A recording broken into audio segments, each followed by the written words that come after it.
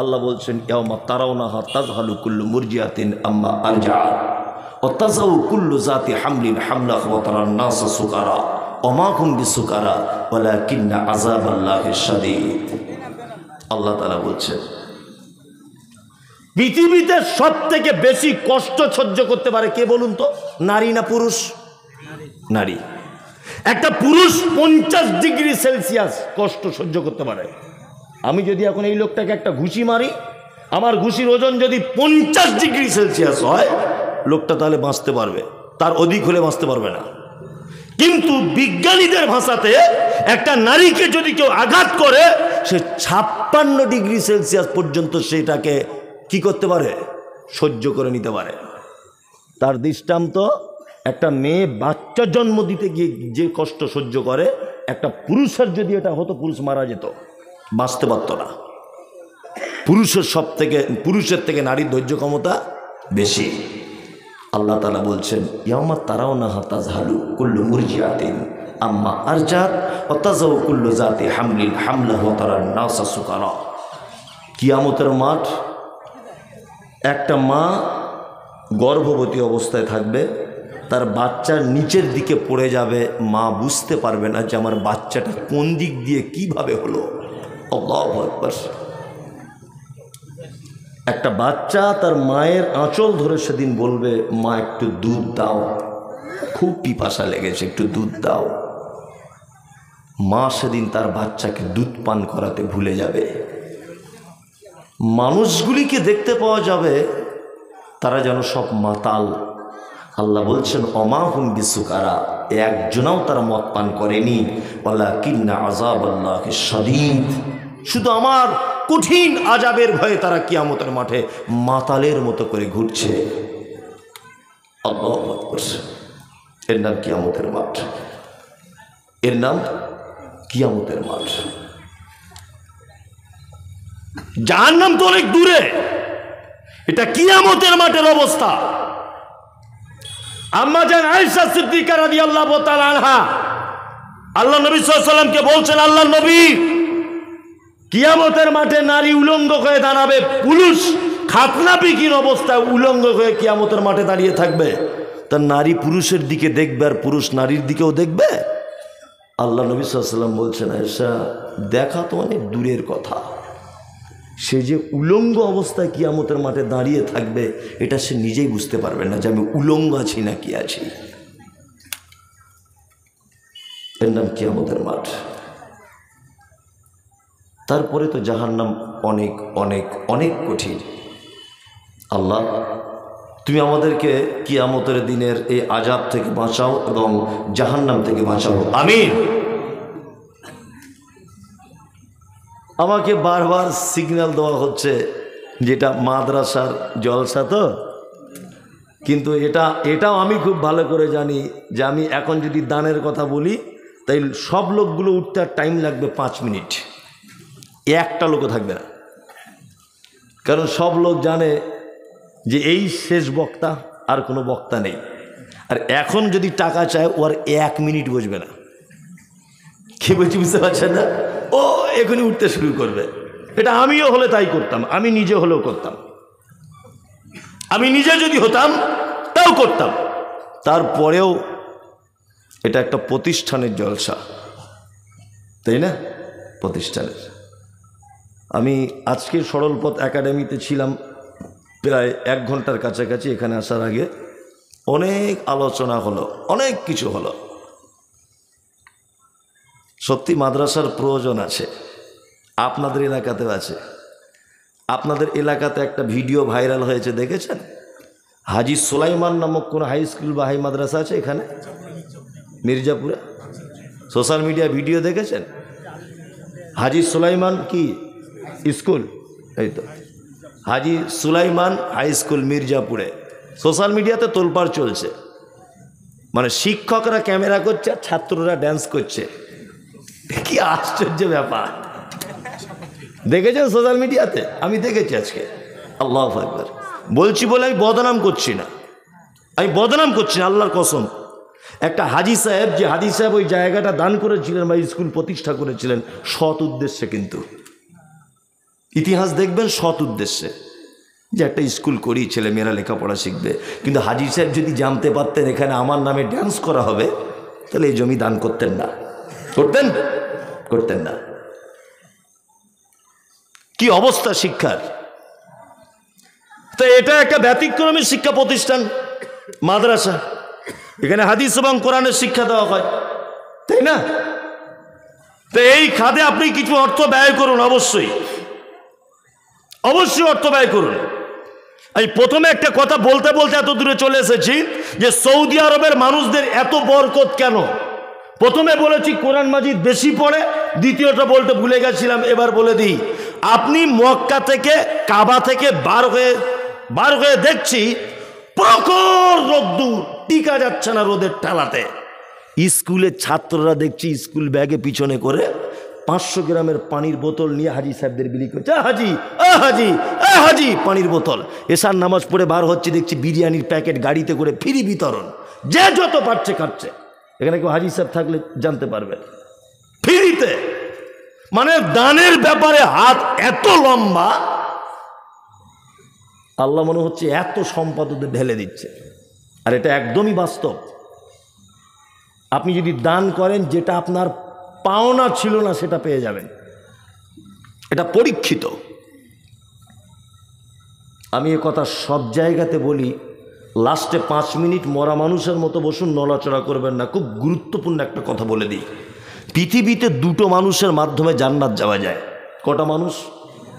দুটো মানুষ। এদের মাধ্যমে জান্নাত যাওয়া যায়। সেবা যত্ন করে।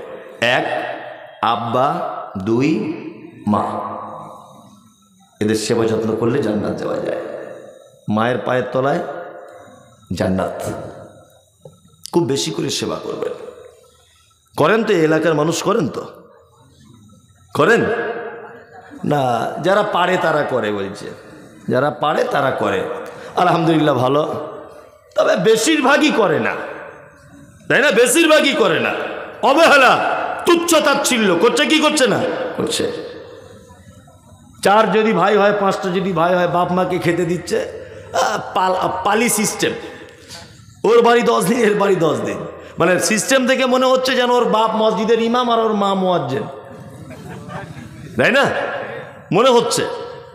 দশ দিন করে সিস্টেম করেছে, বারো দিন হয়ে গেলে বড় বড় চোখ বার করছে বৌমারা। আবার কেউ কেউ বলে দিচ্ছে, আমাদের তরকারি কি খুব মিষ্টি? ছেড়ে যেতে মন চায় না। এই তো দাদুকে বল ক্যালেন্ডার দেখে খেতে পারেন আজ ক তারিখ? বারো তারিখে আমাদের বাড়ি শেষ। আজ তেরো তারিখ হয়ে গেল। বলছে কি বলছে না? বলছে, এটা সব জায়গাতে বলি আজকেও বলব, শুধু মাদ্রাসা বলে বলছি।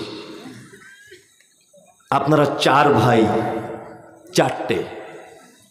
চার ভাই আপনারা দিল্লিতে কাজে গেছেন রাজমিস্ত্রির। তা রাজমিস্ত্রি কাজে ঈদের এক সপ্তাহ আগে বাড়ি আসছেন। আপনি আপনার স্ত্রীকে ফোন করে বলছেন, হ্যালো হ্যালো রোকায়া শুনছ?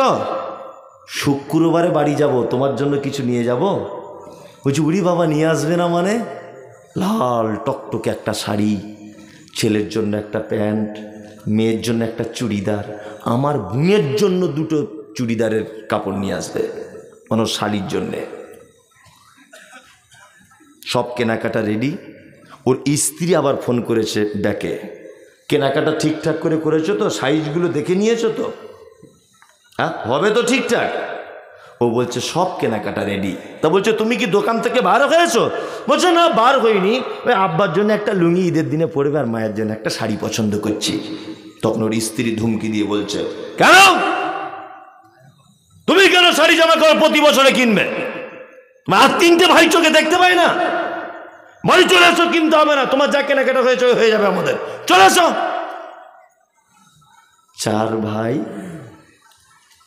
তাদের বউ এরকম হুমকি দেওয়ার কারণে চারজনাই বাড়ি চলে এসেছে। ঈদের দিনে মসজিদে সকালে মাইক আওয়াজ হচ্ছে, আল্লাহ আকবর আল্লাহ আকবর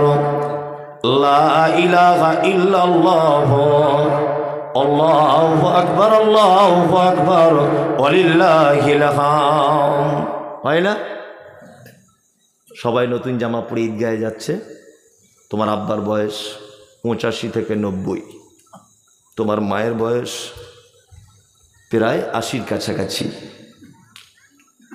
তোমাদের চার ভাইয়ের দুতলা বাড়ি তো, তোমার মা সিঁড়ি দিয়ে উঠতে পারে না বলে চার ভাই যুক্তি করে ছোট ভাইয়ের সিঁড়ির তলাতে মশারি টাঙিয়ে তোমার মাকে রেখে দিয়েছে। তোমার মা একটু চোখে কম দেখে। ঈদের দিনে সবাই যখন চলে যাচ্ছে তোমার মা তখন কাঁদো কাঁদো কণ্ঠে তোমার আব্বাকে ডেকে বলছে, সাইফুলের আব্বা, তুমি নামাজ পড়তে যাবে না? বলতে, যাব তো, কিন্তু জামাটা খুঁজে পাচ্ছি না, কোথায় আছে?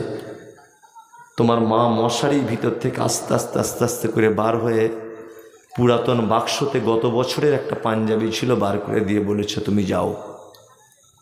হাতে লাঠি নিয়ে আস্তে আস্তে করে তোমার আব্বা ঈদগা পর্যন্ত গেল। নামাজ পড়া শেষ হয়ে গেল। তুমি ছেলে মেয়ে নিয়ে বাড়িতে খাসির মাংস, পোলাও, বিরিয়ানি করে খাচ্ছ। তোমার আব্বা লাঠি নিয়ে আস্তে আস্তে করে এসে তোমার মেন গেটের সাইটে অনেকটা হেঁটেছে বলে একটু রেস্ট করছে। দুপুর দুটো পর্যন্ত বসে আছে বুড়ো মানুষটা। চারটে বৌমা কেউই এক পেয়ালা গোস্ত আর দুটো রুটি দিয়ে গেল না। তোমার মা দুপুর দুটো পর্যন্ত মশারির ভিতরে শুয়ে আছে, কেউ তুলে ঈদের দিনে গোসল করিয়ে পর্যন্ত দিল না। কেন এই অবস্থা? তোমার আব্বার মা তো আজকে রাজ সিংহাসনে। বসে থাকা উচিত ছিল চার চারটে বেটা, ছটা সাতটা পোতা, চার চারটে বৌমা, তারপরেও তোমার আব্বা মায়ের এই অবস্থা কেন? হ্যাঁ পৃথিবীতে সব থেকে যদি বেশি অপরাধিনী বা অপরাধ যদি কেউ করে, তোমার আব্বা, তোমার মায়ের থেকে বদমায়েশ আর খারাপ লোক পৃথিবীতে কেউ নেই। ওই জন্য ঈদের দিন আজকে তাদের এই অবস্থা। তোমার মায়ের অপরাধের কথাটা একটা একটা করে বলি। তোমার মায়ের অপরাধ কি জানো? আজকে তার ঈদের দিনে সাজা হচ্ছে, মশারির ভিতরে জুয়ে ডুকরে ডুকরে নাতি পোতাদের জন্য কাঁদছে, চোখ দিয়ে পানি ঝরছে, তোমাকে বারবার নাম ধরে ডাকছে। আবদুল্লাহ একটু ঈদের দিনে দেখা করতে এলি না বেটা? আবু সুফিয়ান একটু আমার নাম ধরে ডাকলি না মা বলে, কোথায় তোরা? তোমার মায়ের অপরাধ হচ্ছে এই। তোমার মা এই গ্রামের একজন পর্দানাসীন মহিলা ছিল। জীবনে কোনোদিন কোনো পরপুরুষের সামনে মুখ তুলে কথা বলতো না। কোনোদিন। পুরুষ মানুষ দেখলে ঘোমটা দিয়ে দূরে চলে যেত। এত লজ্জাবতী মহিলা।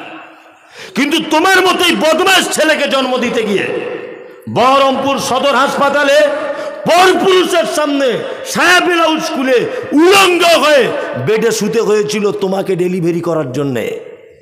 তোমার মায়ের জীবনের প্রথম অপরাধ যে তোমার জন্য তোমার যে মা মুখ দেখাতো না, সে মা তার লজ্জাস্থান দেখিয়েছে পরপুরুষ ডাক্তারকে। এটা তোমার মায়ের জীবনের প্রথম অপরাধ। তোমার মায়ের দ্বিতীয় অপরাধ কি? না তোমার মায়ের মাথার চুল কালো কুচকুচে। হাঁটু পর্যন্ত দুলতো। পাড়ার মেয়েরা তোমার মায়ের মাথার চুল দেখতে আসতো মাঝে মধ্যে। ডাক্তারবাবুরা যখন সিজার করে তোমাকে পৃথিবীর আলো যখন দেখিয়েছে, তোমার মায়ের কালো কুচকুচে কোমর পর্যন্ত দোলানো চুল ও লাল রক্তে জমাট বেঁধে গিয়েছিল। এটা তোমার মায়ের দ্বিতীয় বড় অপরাধ। তোমার মায়ের তিন নম্বরের অপরাধ তোমার মা জীবনে ভয়ে কোনো দিন ইঞ্জেকশন পর্যন্ত ডাক্তারের কাছে নিতে পারতো না। কিন্তু তুমি যখন পেটে ছিলে, যখন মায়ের বেদনা শুরু হয়েছে, ডাক্তারবাবুর কাছে গিয়েছে, ডাক্তারবাবু বলছে, মা, তোমার পেটের ভিতরের বাচ্চাটা সোজাসুজি থাকার কথা। আড়াআড়ি করে লেগে গেছে, এখনই তোমারকে বাচ্চা মারা যেতে পারে। মা তখন ডাক্তারের পায়ে জড়িয়ে ধরে বলেছিল, ডাক্তারবাবু, যদি আমার প্রাণের বিনিময়ে যদি হয়, আমার পেট কেটে আপনি আমার বাচ্চাকে বার করুন আমার বাচ্চার মুখ দেখলে আমি পৃথিবীর সব কষ্ট ভুলে যাব। আমার প্রাণ প্রয়োজন হলে আমার বাচ্চাকে দান করে দিয়ে পৃথিবী থেকে চলে যাব। সেই যে ডাক্তারবাবু তোমার মায়ের পেটের চামড়া, হাঁসের ডিমের মতো সাদা চকচকে ফর্সা ক্যাচ করে কেটে দিল, তোমাকে পৃথিবীতে নিয়ে এলো। সেই যে মোটা সূচ আর সুতো দিয়ে তোমার মায়ের পেট সেলাই করে দিল, আজও পঁচাশি বছর বয়সে মশারির ভিতরে তোমার মা সেই ব্যথা বেদনা অনুভব করে। তোমার মাকে জানো? তোমার মা ওই অপরাধিনী। চিকিৎসা বিজ্ঞানীরা বলেছে, প্রত্যেক দিন একটা বাচ্চা তার মায়ের আটবার দুধ পান করে। আটবারে প্রত্যেকবারে আড়াইশো গ্রাম করে দুধ পান করে। এক একবারে যদি আড়াইশো গ্রাম করে দুধ পান করে, চব্বিশ ঘন্টায় যদি আটবার যদি দুধ পান করার প্রয়োজন হয়, হিসাব কষলে দেখা যাবে পঞ্চাশ টাকা যদি দুধের লিটার হয়, নব্বই হাজার টাকা একটা বাচ্চা তার মায়ের দুধ পান করে। তোমার মা তোমাকে দিয়ে নানির বাড়ি যাচ্ছিল। বাসে উঠেছে, বহরমপুরে নানির বাড়ি। বাসে তোমার মা কোনো রকম সিটে বসেছে আর তুমি তোমার মাকে বলছে আম্মু, একটু দুধ দে না। তোতলা তোতলা করে বলছেন, তখন আপনার দেড় বছর বয়স। আপনার মা পাড়া গ্রামের মেয়ে লজ্জা করছে। কি করে ব্লাউজের হুকগুলো খুলবো? যুবক ছেলেরা তোমার মায়ের দিকে ফ্যাল ফ্যাল করে দেখছে। তুমি যখন চার পাঁচবার বলছো, মা, দুধ খাব, তোমার মা তখন লজ্জার সরম সব বাদ দিয়ে বুকের ব্লাউজ খুলে বুকের লজ্জাস্থানটা তোমার মুখে দিয়ে বোঁটাটা ধরিয়ে দিয়ে, একদিকে তোমাকে আগলিয়ে রেখেছে আর একদিকে পেট পিঠের কাপড়টা ঠিক করছে, বারবার মাথায় ওড়নাটা ঢাকছে। তোমার মা যদি সেদিন একবার বলে দিত, খুব লজ্জা করছে বাবু, এখানে দুধ দেবো না। রাস্তায় জাম, বহরমপুর পৌঁছাতে এক ঘণ্টা টাইম লাগবে। তোমার কচি কণ্ঠনালী আটকে তুমি সেদিন মারা যেতে। এটা তোমার মায়ের অবদান। তোমার আব্বার? তুমি ভালো মিশনে পড়বে বলে ভালো জায়গায় তোমাকে পৌঁছাবে বলে নিজে কোনো দিন ভালো জামা কাপড় পরেনি। এটা তোমার বাপের অবদান। তুমি স্কুলে যাবে, সাইকেলের জন্য তোমার মায়ের কাছে বারবার বলছিলে, মা, একটা সাইকেল কিনে দিলে হয় না? শফিকুল, আশরাফুল, কামরুল, ফয়জুল, সবাই সাইকেলে করে যায়? তোমার মা ফোন করে তোমার আব্বাকে বলেছিল, আমাদের আবদুল্লাহকে একটা পুরাতন সাইকেল দিলে হয় না? তোমার আব্বা রাজমিস্ত্রি কাজ করতে দশটায় টিফিন খরচা বাবদ তিরিশ টাকা পেত। তিরিশ টাকা জমিয়ে তোমার মায়ের অ্যাকাউন্টে ফেলে দিয়ে বলেছিল, আবদুল্লাহকে একটা সাইকেল কিনে দিও। এটা তোমার আব্বা। এটা তোমার আব্বা। ওই জন্য কোরআন মাজিদ সারা পৃথিবীতে যত সম্পর্ক আছে, সমস্ত সম্পর্কের থেকে উচ্চ শিখরে পৌঁছে দিয়েছে পিতামাতাকে। আল্লাহ তালা বলেন সারা পৃথিবীতে যত ভালোবাসার মানুষ আছে কুল ইনকান আবা নবী আপনি বলে দেন সারা পৃথিবীতে যত প্রেম, প্রীতি, ভালোবাসার বস্তু আছে পিতা মাতার থেকে ভালোবাসার আর কোনো জিনিস নাই। শুধু এই নয়, আল্লাহ পবিত্র কোরআনে এমন সিকিউরিটি দিয়েছেন পিতা মাতার ব্যাপারে। বলতে গিয়ে বলেছেন উফেউ আল্লাহ তানহার হুমা, অকুল্লা হুমা কৌলান কারিমা। তোমার আব্বা মায়ের সঙ্গে এমন ভদ্রভাবে কথা বলো, এমন নম্রতা অবলম্বন করো, এমন শ্রদ্ধাশীল তুমি হও, তোমার আব্বা মা যেন তোমার কথায় বিরক্ত হয়ে উহ শব্দটুকু যেন বলে না দেয়। আল্লাহ তাআলা পিতা মাতার ব্যাপারে বলতে গিয়ে সূরা বাকারাতে আবার বলছেন কুল মা আনফাকতুম মিন খাইরিন ফালিল ওয়ালিদাইন ওয়াল আকরাবিন ওয়াল ইয়াতামা ওয়াল মাসাকিন ওয়া সাবিল ওয়া মা মিন খাইরিন ফাইন্নাল্লাহা বিহি আলিম। নবীজিকে জিজ্ঞাসা করা হচ্ছে, নবী সাল্লাল্লাহু আলাইহি ওয়াসাল্লাম, আপনি বলুন, সারা পৃথিবীতে আমরা যত টাকা পয়সা ব্যয় করি, যত টাকা পয়সা আমরা দাম ধন করি, উত্তম দানের জায়গা কোনটা? উত্তম খরচা আমরা কি করি? আল্লাহ নবী সাল্লামকে বলা হচ্ছে, নবী, আপনি বলুন, কুল। মা আনফাক্তুম মিন খাইরি মা আনফাক্তুম মিন খাইরিন ফারিন অলিদাই পৃথিবীতে একটা মানুষ যত টাকা পয়সা ব্যয় করে, মাদ্রাসা, মসজিদ, মুক্তব, অনাথ আশ্রম, এতিম, ফকির, দুস্থ, ফকির, অভাবী, বিধবা, যাদেরকে যে পর্যায়ে মানুষ দান করে আল্লাহ তালা বলছেন, তুমি তোমার পিতামাতার জন্য যে টাকাটা খরচা করো, এর থেকে পৃথিবীতে উত্তম ভালো দানের জায়গা আর কোনো জায়গা নেই। এর থেকে উত্তম খরচা করার জায়গা আর কোনো জায়গা নেই। তাই বলে আমি বলেছি কথা আগে, মাদ্রাসায় এক টাকা দান করলে একটা নেকি হতে পারে। জলসা থেকে বাড়ি যাওয়ার সময় ওই এক টাকা দিয়ে আপনার মায়ের জন্য একটা দাঁতন কিনে নিয়ে যান, দশ লক্ষ নেকি আশা করতে পারেন। এটা আল্লাহর ভাষা অনুযায়ী। উত্তম খরচা করার জায়গা। দুজন পাঁচজন মানুষ বলিয়েন তো ভাই, যে আমি এই মাদ্রাসায় আমার আব্বা মায়ের জন্য আমি দশ হাজার টাকা নিয়ত করছি, আমার আব্বা মায়ের জন্য দেব। একটা লোক বলুন তো, যে নব্বই হাজার টাকা দুধ খেয়েছি, আপনি যখন বলছেন মৌলানা, আমি আমার আব্বার মায়ের জন্য দেবো, এই দশ হাজার টাকাটা দিয়ে দিলাম। একটা লোক বলুন দেখি। কেউ আছেন? হ্যাঁ? একটা লোক বলুন তো দেখি। যে আমি আমার আব্বা মায়ের জন্য দিব, একবারে না হয় দুইবারে দিব। নাই। আসলে বোকামিটা আমারই হচ্ছে। একটা জমিতে বারবার তো চাষ দেওয়া ঠিক নয়। তারপরেও এখন বিভিন্ন জনের হালের বিভিন্ন রকমের কোয়ালিটি থাকে তো। তাই না? আউ্বালের যেটা ছিল ওর কোয়ালিটিতে করেছে। আমি এমনি আদায় টাদায় করতে পারি না খুব একটা, তারপরেও আপনাদের কাছে আবদারটা রাখলাম। কেন, আমার তার আবদার করতে পয়সা লাগছে না। ওই জন্য করলাম। একটা লোক অন্তত পাঁচটা হাজার টাকা একদম হাতটা তুলে বলুন যে আমি আমার আব্বা মায়ের জন্য আমি দেব। তারা বেঁচে থাক বা মারা যাক। আমি নিয়ত করলাম। একটা লোকও যদি হতেন, আমি আজকে নিজেকে খুব ধন্য মনে করতাম। যে একটা লোকও বাপ মায়ের কথা বলে মনটা নরম হয়েছে। কেউ নাই তো? যাই হোক এখন একটা লোক যদি অন্তত হাতটা তুলে বলতেছে আমি এক দু হাজারও দিব, তবুও মনটা সান্ত্বনা দিতাম আসলে সবাই দিয়ে দিয়েছে, এটাই হচ্ছে মেন ব্যাপার। তারপরেও লিস্টে কিছু আছে। বেনামিতে মৃত বাবার জন্য দিয়েছেন দশ হাজার টাকা। আল্লাহম্মা সাল্লি আলী আল্লাহম্মা বারিক আলাই এটা হচ্ছে উত্তম দোয়া। আমরা সত্যি এগুলো মানে একটু বর্জন করুন আস্তে আস্তে। আমি এগুলো করেছি আগে। এ ওগো আল্লাহ দয়াময়, বিশাল সুর টার করে এই দোয়া টুয়া করা, এগুলো ইসলামে নেই। তাই তো, শেখ? ইসলামে নেই। এমনি কেউ দান করল, আল্লাহ তুমি তার মালে বরকত দাও, এতটুকুই। তাই না? আল্লাহ তার পরিবারে বরকত দান করো, এতটুকুই।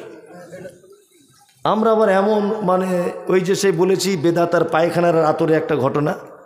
মানে ভুল করে করে এমন পর্যায়ে পৌঁছে গেছি যে ওইটা না করলে আমাদের আরাম হয় না। হ্যাঁ? আশ্চর্য ব্যাপার। জি, এটা ইসলামের পদ্ধতি নয়। কে? কে দিয়েছে? বেনামিতে। বেনামিতে দিয়েছে মানে দোয়া করার দরকার নেই। কারণ ও তো নাম জানাতেই চাইছে, দোয়া কি করব। তবে যে দিয়েছে আল্লাহ তুমি তার মালে বরকত দাও, আমিন। ফের একজন বেনামিতে স্বামীর নামে দিয়েছে পাঁচ হাজার। মানে স্ত্রী বেঁচে আছেন উনি। আল্লাহ ওনার স্বামীর কবরকে তুমি প্রশস্ত করে দাও, কবর আজাব থেকে বাঁচিয়ে দাও। বলুন, আমিন। আমিন বলুন আমিন বলুন, আমিন। আর একজন বেনামিতে দিয়েছেন তিন হাজার টাকা। আল্লাহ, তুমি এ দাতার দানকে কবুল করে নাও। সিমরান মায়ের নামে দিয়েছে পাঁচশো। ভাবিয়েন না, মনে হয় আমি শুরু করে করে দোয়া করব, এটা ভাবিয়েন না। এইভাবেই বলে দিচ্ছি, সিমরান মায়ের নামে পাঁচশো টাকা। আল্লাহ তুমি সিমরানের মাকে ক্ষমা করে দাও। আমিন। বেনামিতে একজন দিয়েছেন দু হাজার চারশো কুড়ি টাকা। আমজাদ ওরফে বাদশাহ, পূর্বপাড়া, দুই বস্তা সিমেন্ট দিয়েছেন। বেনামিতে একজন, চার বস্তা সিমেন্ট। ইকবাল হোসেন মৃত পিতার নামে কুড়ি বস্তা সিমেন্ট। বাপি বেলেপাড়া চার হাজার টাকা দিয়েছেন। আল্লাহ যাদের নামগুলো এখানে প্রকাশ করা হলো, তুমি তাদেরকে ক্ষমা করে দাও, তাদের মালে বরকত দাও। সবুর আলী, উনি দিয়েছেন পাঁচ হাজার বেলে পাড়াতে বাড়ি, বেনামিতে পাঁচশো। সাহেব ভাই পশ্চিমপাড়া অনলাইনের দোকান, ছয় বস্তা সিমেন্ট। বেনামিত মৃত বাবার নামে চারশো কি সেফটি পাথর। এই তো একটা দান এসেছে। নাসির ভাই এক কুইন্টাল রড। নিয়ত করুন, দুতলার ছাদটা হবে, এটা সাদকায় জারিয়া। খুব বড় দান। খুব বড় দান। অন্তত এক দশ বস্তা, চার বস্তা সিমেন্ট নিয়ত করুন, যে আমি দিব। আরে দিয়েছেন, আবার একবার বলুন যে আমি আরও এক বস্তা দিব, আব্বা মায়ের জন্যই দেবো এটা। সাদকায় জারিয়া হয়ে যাবে ইনশাল্লাহ। আসুন ভাই। আপনি এক বস্তা পারেন, তাই দেন। মাদ্রাসা কমিটি তো বলছে না যে এক বস্তা হলে নিব না। বা বিশ টাকা হলে নিব না, এরকম তো কোনো ব্যাপার নাই। যা আছে আপনি তাই দেন, দশ, বিশ টাকা। জি? হালিম। ও, আব্দুল আলিম শেখ, এক হাজার টাকা। আল্লাহ সাল্লি আলিক আল্লাহ বারিক আলী। ও মাশাল্লাহ একজন একশো টাকা দিয়েছেন। ওনার কাছে যা আছেন উনি তাই দিলেন। আপনার কাছেও যদি একশো, দুশো, বিশ, পঞ্চাশ থাকে তো দেন, আল্লাহর হস্তে দেন। কারণ এই সুযোগ আর আসবে না। এই সুযোগ আর আপনার জীবনে নাও আসতে পারে। আগামী বছরে আবার এরকম দিন আপনার জীবনে নাও থাকতে পারে। তাই না? আমিও নাও থাকতে পারি। ওই জন্য এটা তো অন্তত পক্ষে থাকবে। আপনি এর সাদকায় জারিয়ে নেকি পেয়ে যাবেন। অবশ্যই দিনের কাজে যারা সহযোগিতা করে, আল্লাহ তাদের উত্তম প্রতিদান দেয়। দানীদের ভিতরে ওই ব্যক্তি উত্তম দানী, যে তার অর্থ শেষ হয়ে যাবার ভয় করে, আবার অর্থ বেশি হবার আকাঙ্ক্ষা করে। অর্থাৎ গরিব হয়ে যাব, এই টাকাটা দিয়ে দিলে এই ব্যাপারে ভয় করে। আর এই টাকাটা থাকলে আরও টাকা বেড় বেড়ে যেতে পারে। এই আশা করে, এই মুহূর্তে যদি কোনো মানুষ দান করে, এটা হচ্ছে উত্তম দান। আসুন ভাই, কেউ আছেন? দেন। এই হচ্ছে ভালো।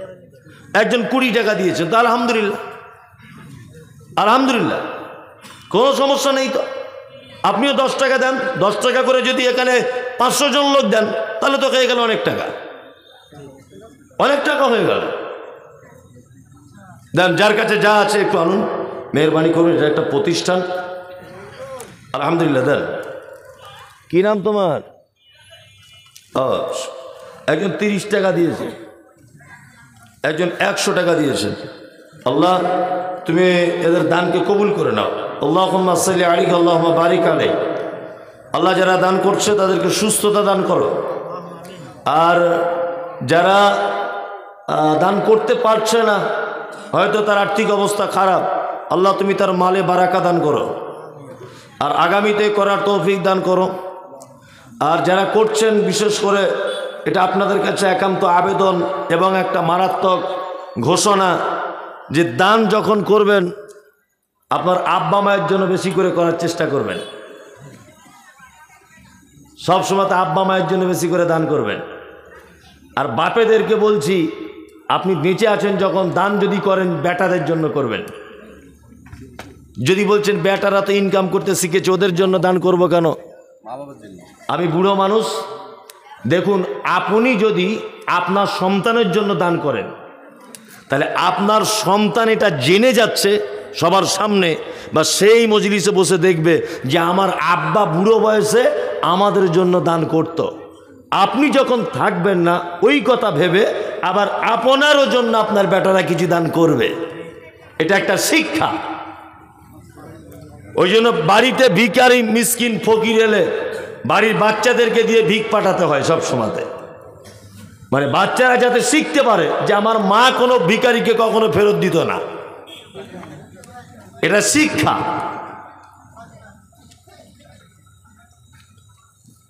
আপনার কাছে একটি গজল শুনতে চাইছি আমি তো গজল বলা ছেড়ে দিয়েছি। আমি আগের মতো আর রং ঢঙের বক্তব্য বক্তব্য রাখি না। না। আমি আগে যেসব বক্তব্য টক্তব্য রাখতাম, এখন আর রাখি না। আমার ভাই বোন মরে গেছে আমার ভাই বোনের নামে তো করো। ও ওর ভাই বোন বিয়ে করেছ? মাশাল্লাহ ভাই বোনের জন্য মারা গেছে তাদের জন্য একশো টাকা দিয়েছে। শুক্রিয়া।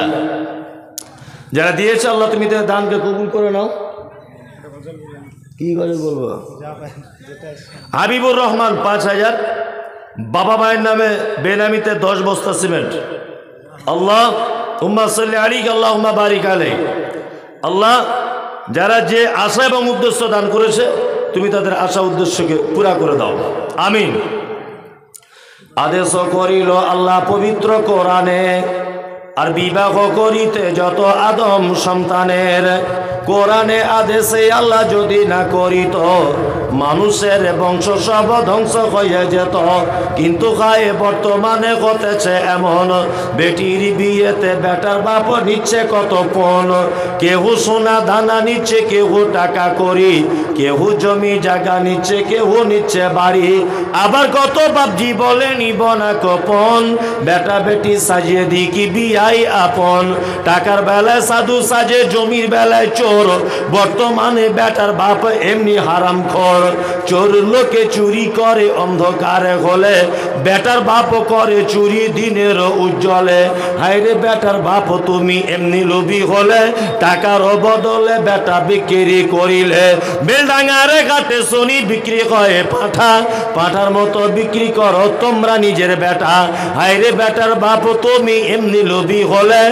টাকার বদলে বেটা বিক্রি করিলে। তোর জন্য কত নারী বিষ পান করে। কত নারী গলায় দড়ি দিয়ে ঝুলে পড়ে? এর জন্য কে বাদাই জানো বেটার বাপ? শত শত বেটির বাপরা দিচ্ছে অভিশাপ। আর বলব না।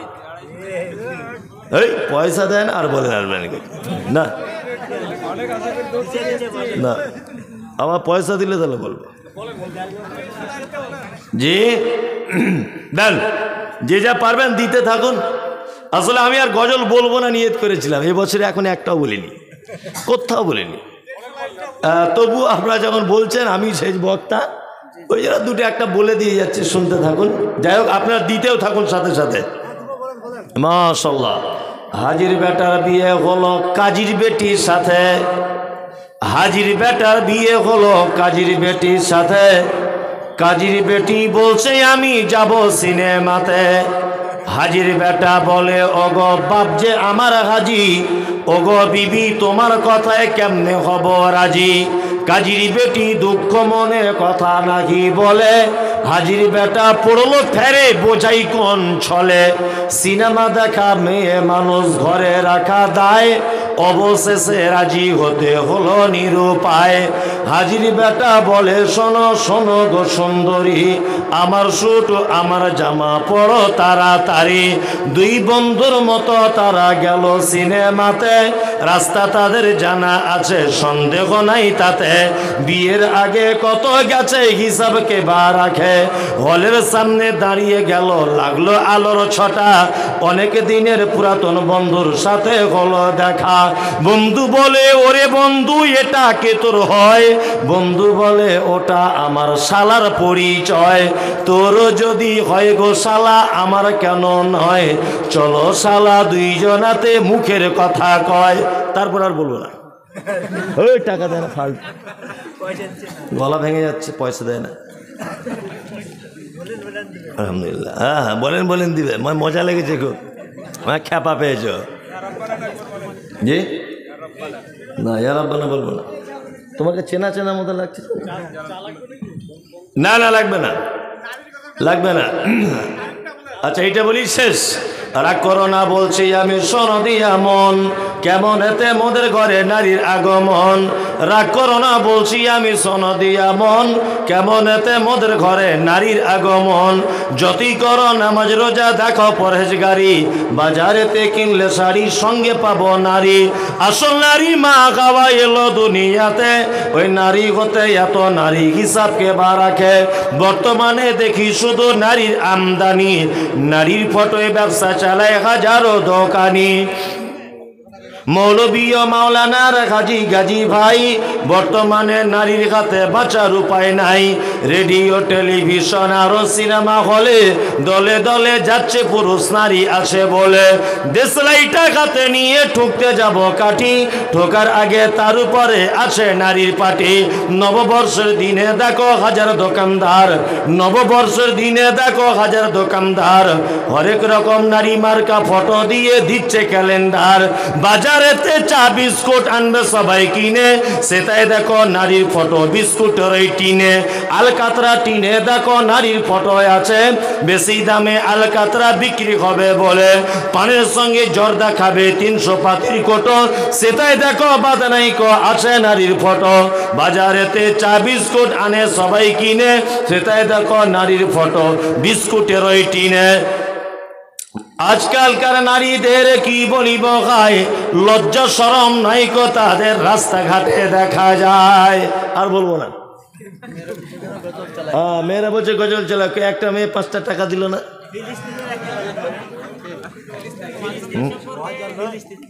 ফিলিস্তিনিদের সম্পর্কে সোশ্যাল মিডিয়া দেখছেন তো? না, অত সহজ নয়। আমি সচেতন করব। আর ওদিকে আমাদের মোদী সরকার ইসরায়েলদের সাপোর্ট করছে। ইহুদিদের। সোশ্যাল মিডিয়া আমাকে ধরবে আর কালকে আমাকে ধরবে আর সবাই নাকে তেল দিয়ে ঘরে ঘুমাবে। ওতে আমি নাই। কি বলছে বুঝলেন তো? ওতে আমি না এসব ইউটিউবাররা বারবার আমাকে বলছে ফিলিস্তিনিদের ব্যাপারে বলুন। ফিলিস্তিনের ব্যাপারে আজকে বলব না কালকে বলব ডোমকলে আসব কালকে বলব। যাই হোক মজলিস ভাঙার দোয়া বলে দেন।